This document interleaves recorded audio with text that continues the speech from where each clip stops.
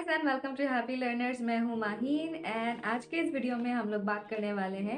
NCD screening के बाद referral system and follow up system को कैसे मैनेज करते हैं। So without any delay let's get in the video तो मेरे पास बहुत से ऐसे क्वेश्चंस आए हैं कि after screening a person and let's say कि वो पर्सन जो है वो पॉजिटिव आया है okay and regarding your test results okay so इसके बाद क्या करना है? Whether you should do a tele consultation और you should refer a person okay now usually the rule goes like this कि आपको uh, अगर जो एरिया है वो बहुत ही रिमोट एरिया है and the patient is unable to come to the better health facility और हायर हेल्थ फैसिलिटी और या फिर वो आना नहीं चाहते because of the fear because वो जो लोग हैं वो ज़्यादातर uh, इकोनॉमिकली उतने इंडिपेंडेंट नहीं है and there is no financial strength for them तो वो लोग ना भी आना चाह सकते हैं in that case tele consultation is the only way left for you okay अब बात करते हैं जो लोग आ सकते हैं okay okay?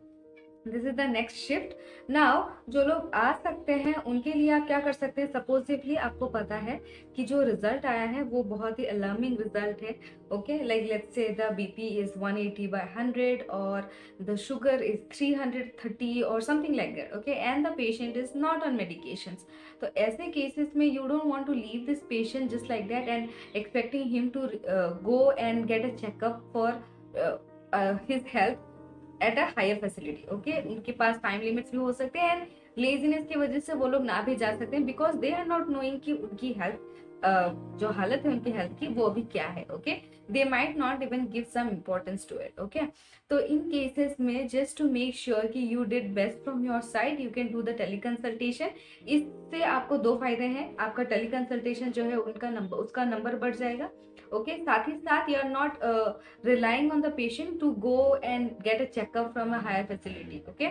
you are giving some of the medication ताकि वो जाए फिर से। तो as when you give a medication because ये रूरल एरियाज़ है whenever you give them something free of cost they like it so that's that makes a good bond of you with the patient and they will like they are more likely to hear your words and get a checkup done okay okay? तो ये क्या होता है कि अगर वो लोग एक दो दिन लेट भी हो रहे हैं तो they are getting a medication to just control the symptoms and this medication are prescribe by a doctor so you don't have to worry regarding the permission sort of problem and all okay make sure to give a prescription जिसमें लिखा हो properly tele consultation done through doctor this and the medication and your seal and signature in the prescription also give them a referral slip so that they can show it to the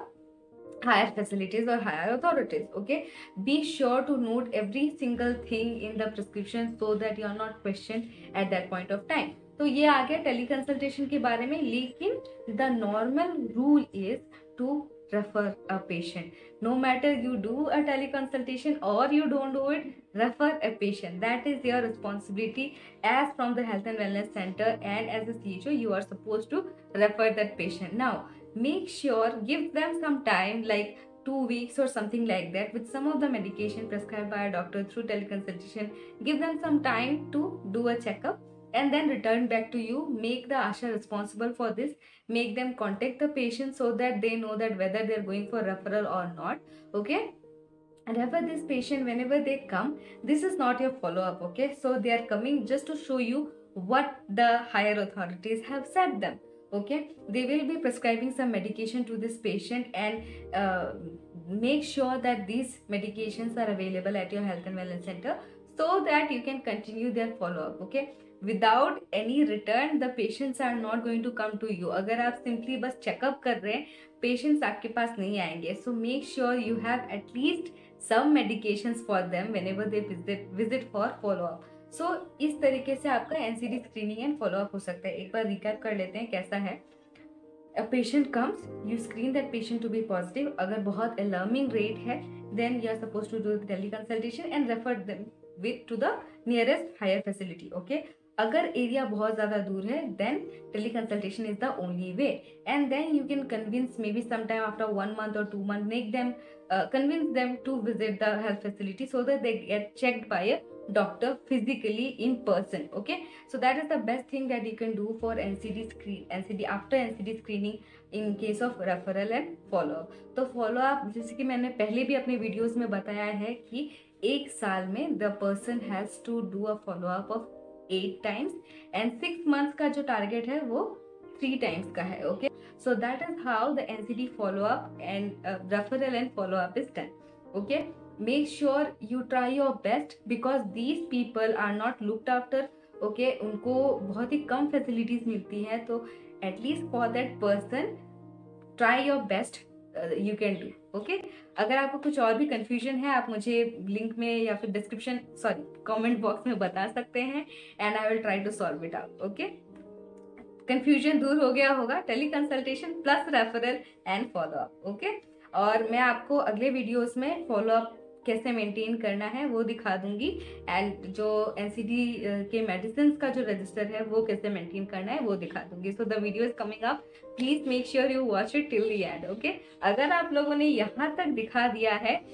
देख लिया है तो please write in the comment got it okay तो मुझे पता चल जाएगा कि मेरा वीडियो वेस्ट नहीं गया है आप लोगों को थोड़ा बहुत तो कुछ समझ में आ गया होगा। So that will make me happy अगर आप कुछ भी प्रॉब्लम uh, है या फिर कुछ भी डाउट है you can ask in the comment section I will always reply to your comments okay so till then bye bye happy learning